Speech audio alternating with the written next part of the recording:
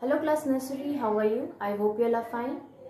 So today in our maths class we will learn write down. Alright, write down of number 4, 5, 45 and 4, 6, 46. Okay. In our previous class we learned 4, 4, 3, 43 and 4, 4, 44. Correct. So today we will learn 4, 5, 45 and 4, 6, 46. Okay.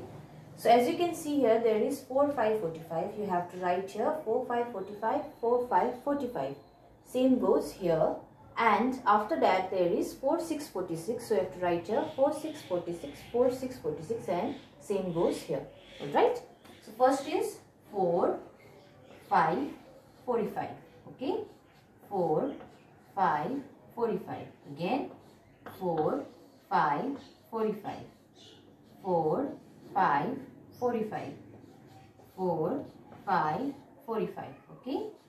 4, 5, 45. Now moving on to next 4, 6, 46.